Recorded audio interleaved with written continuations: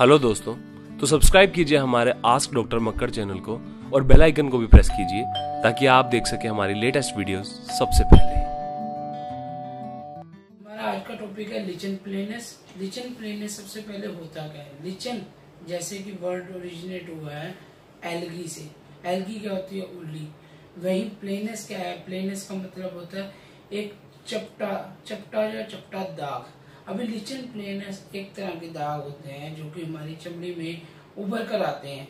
ये जो दाग हैं, ये अपना लाल कलर के भी हो सकते हैं, जामनी कलर के भी हो सकते हैं वायलट कलर के भी हो सकते हैं। ये शुरुआत में खारिश की तरह उभर कर आते हैं। जैसे जैसे कोई व्यक्ति खारिश करता रहता है तो ये दाग होली होली जाकर ये अपना थोड़ा सा काले पड़ जाते हैं, जो काले दाग हैं, जो लिचिनिफिकेशन की तरफ़ चले जाते हैं तो ये पर्पलिश हो जाते हैं। तो ये होता क्यों है? देखो, जैसे कि हम लिचन प्लेने जानते हैं, इसका कोई कारण नहीं है। लिचन प्लेनेस का आज तक कोई भी कारण नहीं पता लगा। डॉक्टर्स और वैज्ञानिक कहते हैं कि इसका कारण है कि आपकी ऑटोम्यूनिटी डाउन होगी मगर अकेली ऑटोम्यूनिटी इतना बड़ा स्किन की प्रॉब्लम नहीं कर सकती। ऑटोम्यूनिटी के साथ लाइफस्टाइल और इसके साथ आपकी कुछ आदतें भी जो कारण बढ़ा रही हैं। अभी देखो, जो स्ट्रेस है, जो लाइफस्टाइल है, उससे क्या होता है कि आपका जो रोग प्रतिरोधी शक्ति डाउन आ जाती है। जब आपकी रोग प्रतिरोधी शक्ति डाउन आ जाएगी, जिस चीज़ ने आपको बीमारियों से बचाना है, वो आपको बचा नहीं पाएगी।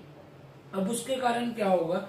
आपके शरीर के जो ए सेल ने, आपके बी सेल से आपको जो बाहर के आए, आने वाले बी सेल से आपको बचाना था, उसकी वजह से वो ए सेल अपने बॉडी के ही सेल को अटैक करने लग पड़े। जिसके कारण क्या होगा चमड़ी में ऑटोम्यून सेल आ जाएँगे, जो कि उभर कर आ जाएँगे, जिससे कि क्या होगा, चमड़ी में शुरुआत में खारिश होगी। अगर वो खारिश आप लगातार उसी स्पोर्ट पर लगातार करते रहोगे, वो खारिश जो ब्लैक स्पोर्ट में चले जाएगी, जो ब्लैक स्पोर्ट अगर लंबे टाइम पर वही खारिश के स्पोर्ट बढ़ते रहे बढ़ते रहे, वो लेचिनिफिकेशन होगी और उसमें आपके ब्लड सेल आ जाएँगे, जो कि बाद में आपके डिस्कलरेशन कर देंगे उस एरिया को और वो एरिया ब्लड जमा होने के कारण डब्ल्यू जमा होने के कारण और ऑटोम्यू सेल होने के कारण वो पॉप आउट होकर बाहर आ जाएगा। ये पॉप आउट गोल भी हो सकता है पोलिगोनल भी हो सकता है जैसे कि एलगी की शेप होती है, जैसे अमीबा की शेप होती है जहाँ ये अलग अलग तरह के ये दाग छोड़ेगा। ये दाग जो हैं, लोगों को बहुत ज़्यादा प्रभावित करते हैं, लोग इसकी अनदेखी कर देते हैं शुरुआत में। वो कहते हैं, चलो कोई नहीं, अपने आप ठीक हो जाएगा। कई लोग सोचते हैं, हम स्मोकिंग ज़्यादा कर रहे हैं, इसकी वजह से हो रहा है। कई लोग सोचते हैं, हम पता नहीं खाना पीना गड़बड़ खा रहे हैं, उसकी वजह से हो जाता है। मगर अगर हम इसको लंबे टाइम अनदेखा करें तो ये दाग परमानेंट हो जाते हैं और शरीर में फैलने लग पड़ते हैं। तो वो जाकर ये तंग करते हैं। ये दो तरह के होते हैं।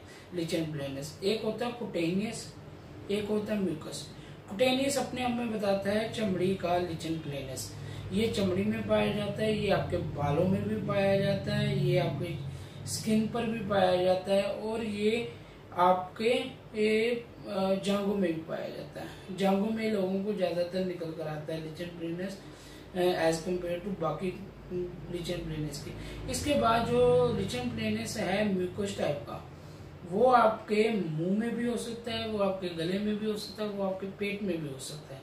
ये जो होता है, ये मुश्किल तरह का लिचन प्लेनस होता है, क्योंकि ये पार्ट गीले रहते हैं। जितना कोई पार्ट गीला रहता है, वहाँ बीमारी को ठीक करना उतना ही मुश्किल हो जाता है। तो इसीलिए लिचन प्लेनस जो हैं, ये एक तरह का नहीं थे, बहुत तरह के होते हैं, आपको समझने की ज़रूरत है।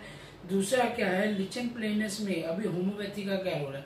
होम्योपैथी बेसिकली और बेसिकली ये कारणों पर जाती है। उसने देखना है कि कारण क्या है। कारण क्या है कि उस बंदे की एक तो रोग प्रतिरोधी शक्ति कम हुई, उसके बाद लिचन प्लेनस के सिम्टम क्या होते हैं बेसिक एक पार्ट है, वहाँ रेडनेस होगी, वो पप्यूल हो गया, वो पश्चूल भी हो सकता है, उसमें पस भी बनने लग पड़ती है। और ये क्या होता है, लोगों में एक दर्द, मुँह में एक छाले भी होने लग पड़ते हैं, जिसके कारण एक मुँह में कड़वा सा या बहुत जलन वाला एहसास होता है। देखा गया है, जिन लोगों को लिचन प्लेनेस है, उनके मुँह में एक कड़वाहट या मुँह में एक तरह की का दर्द होना भी आम सी बात होती है। जो मुँह वाला लिचन प्लेनेस है उसमें सबसे कॉमन चीज़ है आपको पिंक पिंक कलर के स्टिक दिखेंगे, जिसमें कि बहुत ज़्यादा जलन होगी, जो सबसे मुश्किल ठीक होने वाला है। अभी होम्योपैथी करेगी, सबसे पहले उसने इच ठीक करनी है कि लिचन प्लेनेस में इच ना हो। अगर आप इचिंग रोक दोगे तो आप रोज रोज खुरजाना रोक दोगे, जिसके कारण की लिचिनिफिकेशन प्रोसेस स्लो बढ़ जाएगा अगर खारिश रुक गई तो होली होली होली होली जो स्किन बम्पी हो रही है, वो होली होली सेल शरीर में जाने लग पड़ेंगे बॉडी उनको ऑब्जॉर्व करने लग पड़ेगी और वो पार्ट जो है उसकी जो कलरिंग है वो नॉर्मलाइजेशन की तरफ़ चलने लग पड़ेगी और बम्पिंग कम होने लग पड़ेगी। इसमें हम होम्योपैथी दवाइयाँ में से कई कुछ दवाइयाँ यूज़ कर सकते हैं, जिसके बारे में आपको आइडिया दे रहा हूँ, उसका ये मतलब नहीं है अपनी ये दवाइयाँ यूज़ करनी है। जैसे कि सबसे प्रमुख दवा है थ्यूजा जो थ्यूजा दवा है, ये आप महीने में एक बार एक डोज लो। इस थ्यूजा दवा से आपका जो साइकोटिक प्रोसेस है, जो ये बम्प बन रहे हैं, ये रुकने लग पड़ेंगे। थ्यूजा जो होती है, ये साइकोटिक टेंडेंसी है। अगर किसी की भी शरीर में कोई चीज़ ज़रूरत से ज़्यादा बन रही है, ये उसको रोकती है। दूसरा क्या है, ये वायरल वायरल रोड को रोकती है इन्फेक्शन को रोकती है और इम्यूनिटी को इम्प्रूव करती है। इसके बाद जो दूसरी दवा मैं आपको बता रहा हूँ, उसका नाम है रेस्टोक्स रेस्टोक्स बहुत बढ़िया दवा है, जिन बंदों को वो अपना नहा कर लिचन प्लेनेस में आराम मिलता हो और जो लिचन प्लेनेस है वो हेरी पार्ट पर ज़्यादा हो रेदर देन की नॉन हेरी पार्ट पर। तो रेस्टोक्स बहुत ज़्यादा केसेस में अगर हम देखें तो बहुत अच्छी दवा है। रेस्टोक्स की दवाई जो है, ये अपना लिचन प्लेनेस को अकेले भी ठीक कर सकती है। अगर आपके कुटेनियस लिचन प्लेनेस है या चमड़ी वाला लिचन प्लेनेस है।